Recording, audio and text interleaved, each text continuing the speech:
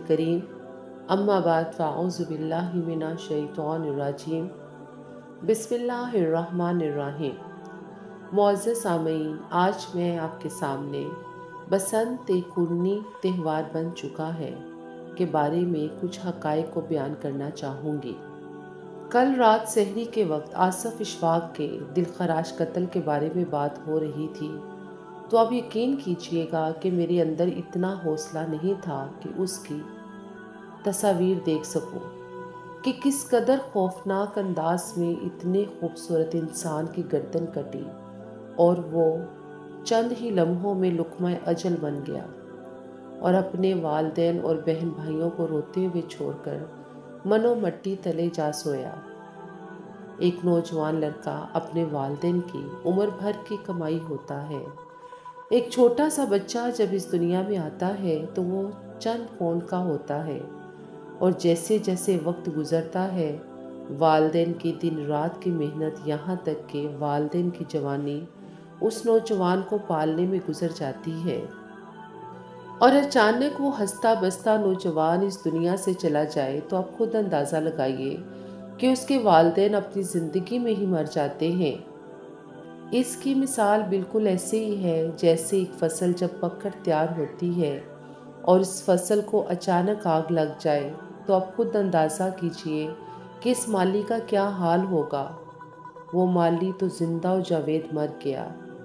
उसके कई सालों की मेहनत ज़ाया हो गई। जैसा कि आप सब जानते हैं कि बसंत एक ऐसा त्यौहार है जिसको लोग बहुत खुशी से मनाते हैं। पूरा साल इस त्यौहार का इंतज़ार किया जाता है और फिर पाकिस्तान के तमाम बड़े शहरों में मखसूस दिनों में ये त्यौहार मनाया जाता है। ये एक तफरीही त्यौहार है, जिसमें लोग कुछ लम्हों के लिए अपनी ज़िंदगी के मसाइल से आज़ाद होकर खुशी से ये त्यौहार मनाते हैं। पहले इस त्यौहार के मनाने में कोई बंदिश ना थी। छोटे बड़े ख़ानदान के सब लोग इस त्यौहार से लुत्फानंदोज़ होते थे। बाकायदा तौर पर बसंती पकवान बनाए जाते, बसंती लिबास सेबतन किए जाते और घरों की छतों पर जाकर तमाम अहली खाना खुशियाँ मनाते। फिर चंद सालों से ऐसा क्या हुआ कि इस त्यौहार पर पाबंदी लगानी शुरू कर दी। पुलिस की पकड़ धकर शुरू हो गई। नौजवानों को पकड़कर जेल में बंद किया जाने लगा और पतंगों और डोरों को जलाया जाने लगा। और तो और मज़े की ये बात है कि पुलिस सिर्फ़ कार्रवाई की हद तक ही काम करती है और बसंत वाले दिन अगर किसी असर रसूख वाले शख्स के घर छापा पड़ जाए तो ना तो उनको पकड़ा जाता है और ना ही उनके खिलाफ कानूनी कार्रवाई की जाती है। और गरीब और बग़ैर असर रसूख वाले नौजवानों को ना सिर्फ़ पकड़ा जाता है, बल्कि उनके ख़िलाफ़ सख्त कार्रवाई की जाती है। आखिर एक ही माशरे में ये तजाद क्यों? आखिर एक ही माशरे में ये बदनज़मी क्यों? आखिर एक ही माशरे में अमीर और गरीब के लिए कानून के ये दो रुख क्यों? शायद यही वजह है कि हम पाकिस्तानी तरक्की के दौर में इसी वजह से पीछे रह गए हैं कि एक ही कानून में अमीर और गरीब के पेश नज़र सजाएँ मुतन की जाती है। अगर हम अहद नबूत की तरफ़ नज़र दोहराएँ तो बखूबी अंदाज़ा हो जाता है कि इस्लाम एक मुकम्मल जबता हयात है। इसमें अमीर और गरीब का कोई फ़र्क नहीं, कानून सबके लिए एक है। मैं आपके सामने एक मिसाल पेश करना चाहूँगी। हज़रत आयशा सदीक़ा रज़ी अल्लाह तहा से रवायत है कि कुरैश को इस मखजूमी औरत के मामले ने, जिसने चोरी का इरतकब किया था, फ़िक्रमंद कर दिया था, वो आपस में कहने लगे, इस औरत के सिलसिले में कौन रसूलुल्लाह सल्लल्लाहु अलैहि वसल्लम से बात करेगा? लोगों ने कहा, रसूलुल्लाह सल्लल्लाहु अलैहि वसल्लम के चहीते उसामा बिन जैद रज़ी अल्लाह के सवा और किसी को इसकी ज़रूरत हो सकती है। चुनाचे हज़रत उसामा रज़ी अल्लाह ने आपसे इस सिलसिले में गुफ्तु की तो आप सल्लल्लाहु अलैहि वसल्लम ने फरमाया, उसामा, क्या तुम अल्लाह के हदूद में से एक हद के सिलसिले में सिफारिश करते हो? फिर आप सल्लल्लाहु अलैहि वसल्लम ने खड़े होकर ख़ताब फरमाया तुमसे पहले के लोगों को भी इस चीज़ ने हलाक किया है कि जब उनमें से कोई मुआस आदमी चोरी कर लेता तो उसे छोड़ देते। और जब उनमें से कोई कमज़ोर व आदमी चोरी करता तो उस पर हद कायम कर देते। याद रखो, अल्लाह की कसम, अगर फ़ातिमा बिन्नत मोहम्मद भी चोरी करती तो मैं उसका भी हाथ काट देता। सुबहान अल्लाह। इस हदीस मुबारक से बखूबी अंदाज़ा होता है कि जब तक इस मुल्क में कानून सबके लिए एक जैसा ना हुआ, तब तक ये मुल्क तरक्की नहीं करेगा। हम इसी तरह दिन ब दिन पस्ती की तरफ़ जाते रहेंगे और तरक्की हमारा मुकद्दर नहीं बन सकती।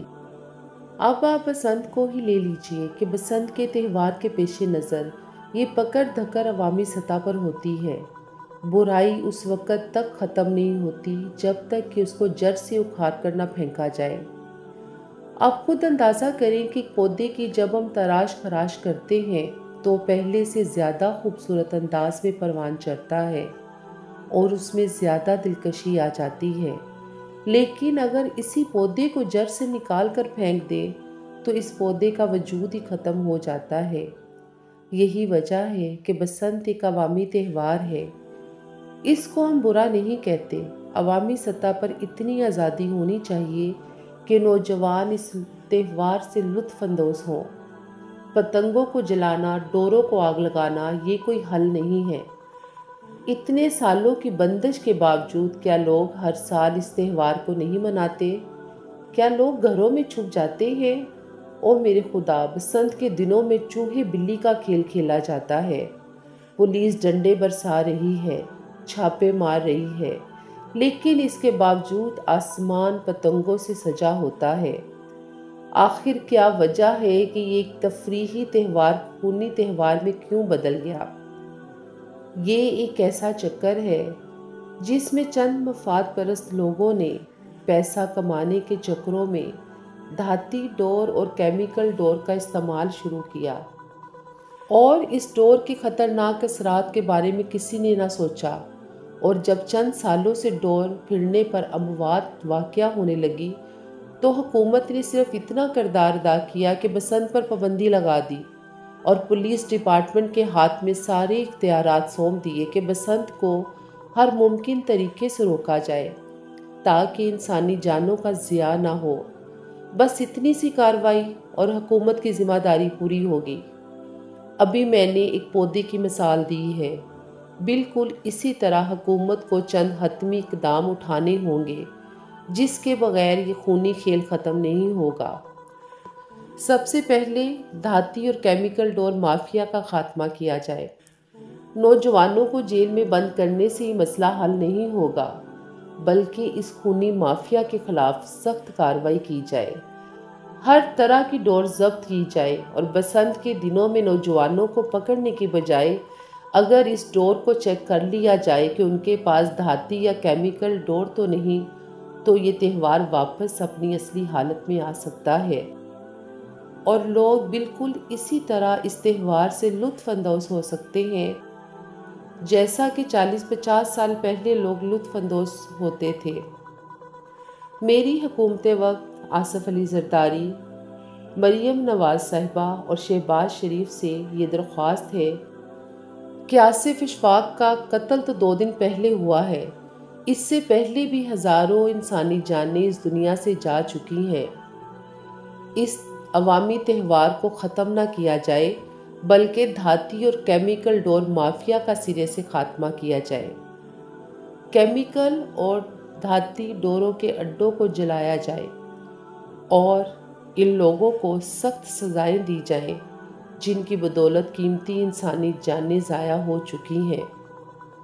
बहुत ही माजरत के साथ मैं सिर्फ़ इन लोगों से एक बात कहना चाहूँगी कि अगर आप कुछ लम्हों के लिए ये तस्वर करें कि आसिफ इशफाक की जगह आपके बेटे का ये हाल हुआ हो तो मुझे उम्मीद है कि आप लोगों का सांस रुक जाए, आपकी जान निकल जाए। खुदारा चंद्रपो की खातर इस खूनी खेल को छोड़ दे। ताकि माओ के लगते जिगर, मनो मट्टी तले ना जाए, बल्कि उनके बुढ़ापे का सहारा बने।